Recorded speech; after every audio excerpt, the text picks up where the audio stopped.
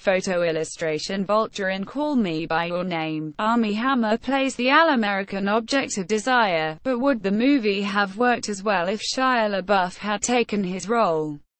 Instead, that was the intent of original director James Ivory, who cast LaBeouf as Oliver, the grad student who romances a besotted young man in the acclaimed new film.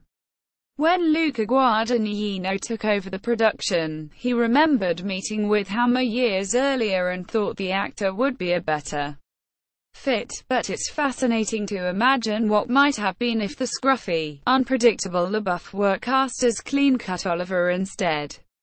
That's just one of the ways that this year in film almost turned out very differently. Timothée Chalamet, the actor who stars opposite Hammer in Call Me By Your Name, almost had his breakout moment in another one of 2017's buzziest films he was on the shortlist to play Spider-Man in the Marvel Cinematic Universe, vying with actors like Nat Wolff and Asa Butterfield to don the supersuit for a rebooted trilogy of films that began with the summer hit Spider-Man Homecoming and eventually starred Tom Holland as the famous web-slinger. Another comic book movie with a might have been casting is Wonder Woman, which tried to lure Nicole Kidman to play the titular superheroine's mother but lost her to a Big Little Lies scheduling conflict. Connie Nielsen eventually took that part, while Kidman segued to another supermom in the same cinematic universe as the mother to Jason Momoa in Aquaman, due out next year. And then there's Matthew McConaughey, who says he turned down a part in Guardians of the Galaxy Volume 2. Director James Gunn has always claimed that Kurt Russell was the first choice to play Chris Pratt's father in that film, but could he have considered McConaughey to play Marvel character Adam Warlock, who had appeared in early iterations of Gunn's sequel story?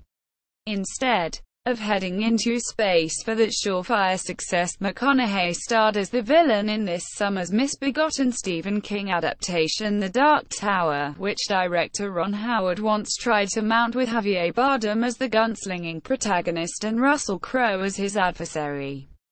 Once Howard let the project go, Idris Elba was cast as the gunslinger, and that's not the only long-germinating project Elba came onto late in the game the survival romance The Mountain Between Us, where Elba stars opposite Kate Winslet, was almost shot years earlier, with Charlie Hunnam and Rosamund Pike.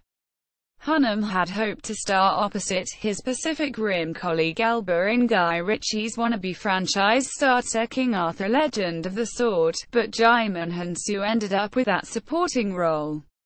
One role Elba wanted and didn't get, though, was vain Gaston in the live-action version of Beauty and the Beast. He auditioned for the role and even sang, but director Bill Condon cast Luke Evans instead.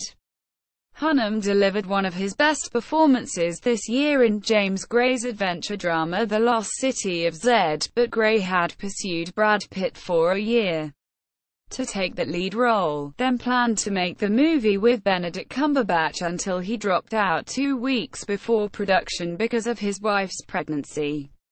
Other movies that changed their casts over development delays included It, where original director Cary Fukunaga wanted to cast Will Poulter as the terrifying clown.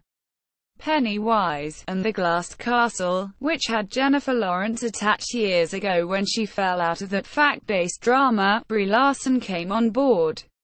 And, of course, there's our dear departed friend Tulip Fever, a truly cursed production that was nearly shot in 2004 with Jude Law and Keira Knightley starring.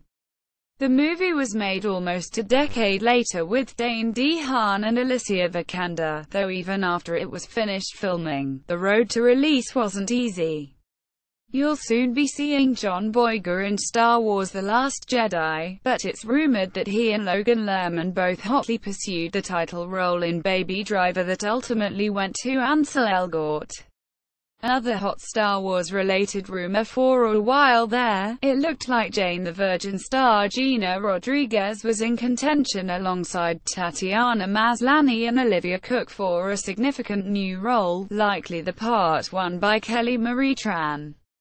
We'll soon see how Tran fares in the film, just as viewers of this month's Downsizing can imagine how the film would have been different with the originally cast Reese Witherspoon as Matt Damon's wife though it would have been a reunion with her election director Alexander Payne, Kristen Wiig ultimately ended up with that role, and, in perhaps the more notorious example of a recent recasting, compare late fill-in Christopher Plummer to the work originally done by a makeup-aided Kevin Spacey as J.